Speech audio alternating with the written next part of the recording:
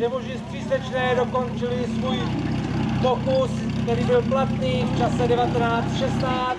V průběžném pořadí zatím deváté místo. Na levé straně dokončil proudářský pokus v čase 17.71.